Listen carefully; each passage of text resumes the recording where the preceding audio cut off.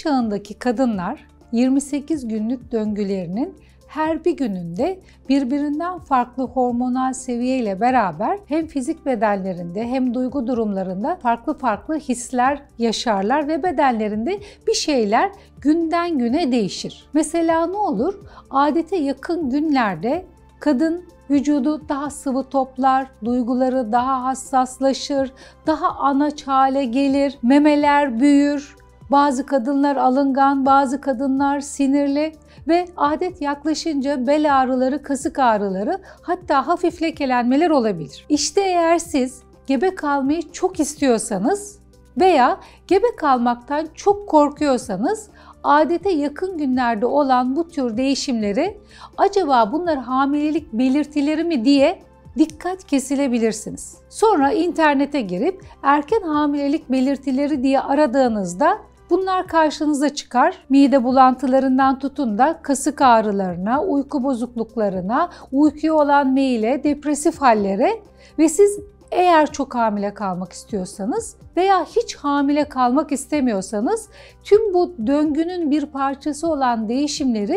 hamileliğe yorumlayabilirsiniz ve erken hamilelik belirtileriyle sanki hamileymişsiniz gibi büyük bir panikle veya büyük bir coşkuyla gidip erkenden hamilelik testi yaptırabilirsiniz. Çünkü bunu yaşayan o kadar çok kadın var ki bu vesileyle bu konuya tekrar açıklık getirmek istiyorum. Hamile olduğunuzu anlamak için erken hamilelik belirtileri, erken hamilelik testleriyle kafanızı karıştırmaya hiç gerek yok. Yapmanız gereken en doğru iş hamileliği kesin olarak öğrenebileceğimiz şüpheli değil, çok erken dönemde değil, bir tek belirtilere bakarak değil, kesin olarak öğrenebileceğiniz günlerde gebelik testi yaptırmak veya daha ilerleyen dönemlerde ultrason muayenesiyle gebelik kesesini görmek yani kesin teşhisle hamile olup olmadığınızı öğrenmek kendinize yapacağınız en büyük iyilik.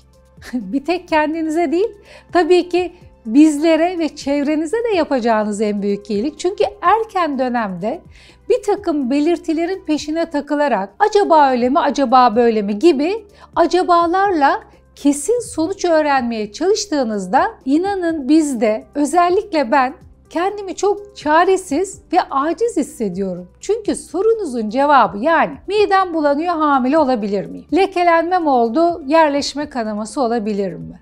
Kasıklarım ağrıyor acaba hamile miyim? Adetten 11 gün sonra ilişkiye girdim 3 gün sonra lekelenmem oldu acaba hamile miyim? Adetim bir gün gecikti acaba hamile miyim?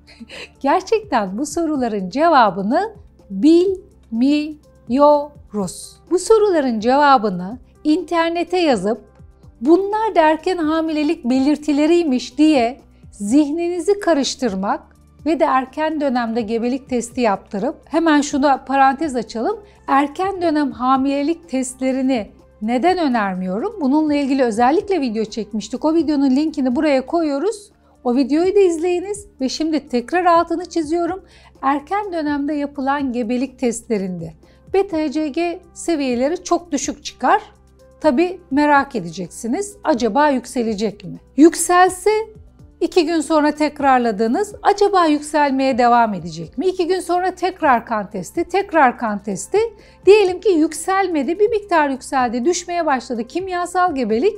Bu sefer kendinizi düşük yapıyor zannedeceksiniz. Gebeliği çok istiyorsanız kimyasal gebeliği tespit edip bunu da düşük yaptığınızı zannetmeye başladığınız zaman bu sefer ruh haliniz, zihniniz çökkün bir hale gelecek. Üzüleceksiniz. Neden benim gebeliğim devam etmiyor diye bu sefer bunun araştırmalarına gireceksiniz.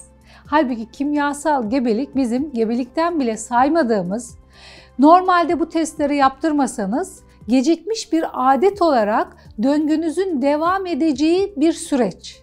Ama öğrendiniz, zihniniz bu sefer ona takılacak. Zaten bilgiye bu kadar hızlı ulaşılabilen, daha doğrusu bilgiye bu kadar kolay ulaşılan bir dönemde çokça fazla gereksiz bilgiyle zihniniz karışmakta. Onun için lütfen erken hamilelik belirtileri nedir diye bir soru sormayın. Hamile olduğunuzda hamile olduğunuzu öğrenin. Adet gördüğünüzde de hamile değilmişsiniz. Bu konuyu daha fazla teferruatlı araştırmayın. Bu konuyla zihninizi yormayın. Türk filmleri aklıma geliyor bu erken hamilelik belirtilerinden konuşunca. Türk filmlerinde kadın bayılırdı hatırlar mısınız? Bizim çocukluk dönemimizdeki filmlerde. İşte doktor gelir tansiyonunu ölçer hamilesin derdi.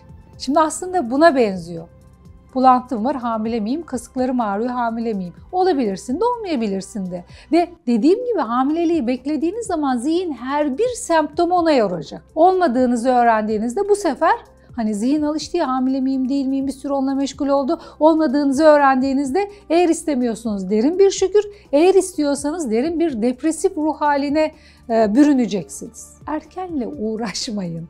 Bir şeyi erkenden öğrenmek, erkenden yapmak, hızlıca ulaşmak zaten çağımızın özellikle kadınlarının en çok sıkıntıya düştüğü, en çok tuzağına düştüğü davranış kalıplarından bir. Kendi halinde bırakın. İlk belirtine peki hamile olduğunuzun düzenli bir cinsel ilişkiniz varsa ve düzenli bir adet döngünüz varsa ilk şüpheleneceğimiz şey kasık ağrısı, bulantı, depresif ruh hali bunlar değil. İlk şüpheleneceğimiz şey gecikmiş adet. Yani siz şu günlerde adet görüyordunuz ve birkaç gün gecikti şüpheleniriz ama test gene yaptırmıyoruz. Adet gecikmesi de pek çok nedenlerden dolayı olabilir. Test ne zaman yaptırıyorsunuz? Beklediğiniz adetten en az bir hafta geçtikten sonra. Onun için lütfen bu videoyu izledikten sonra şu oldu acaba hamile miyim, bu oldu acaba hamile miyim sorularını ne kendinize sorun ne bir başkasına sorun ne bunun cevabını internetten arayın. Sakin, sükunet, zamanı geldiğinde zaten öğreneceksiniz. Bir hafta sonra öğrenmeniz sizin için hiçbir kayıp değil, tam tersi söylediğim nedenlerden dolayı çok daha avantajlı olacak. Sevgiyle kalınız.